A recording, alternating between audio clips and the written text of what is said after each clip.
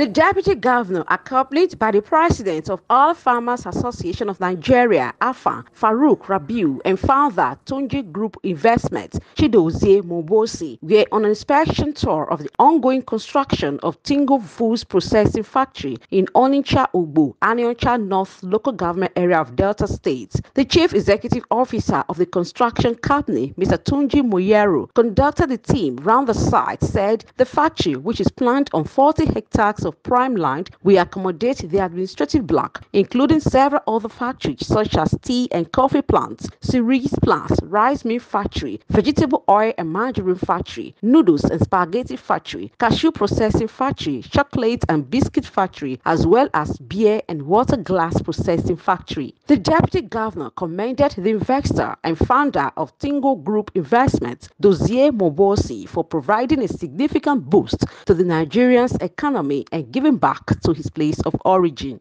This company uh, is the way forward in terms of uh, processing. We have to attract younger ones. We must create incentive to attract younger ones to farming, and we should also be able to cluster uh, uh these farms and also get processing companies to follow in this cluster that we are, we are looking at. So this is a welcome development. Earlier, Edo State Deputy Governor Comrade Philip Shaibu, who is also the aspirant in the forthcoming 2024 governorship election in the state, paid a courtesy visit to the palace of Obi of Onitsha Ugbo Agbogidi Chukwumaleze, where he received royal blessings from the monarch. You The chief executive officer of the construction company, Mr. Tonji Moyero, assured that the facility will be ready by December 2024. Roseline Ebhoramen, ITV News.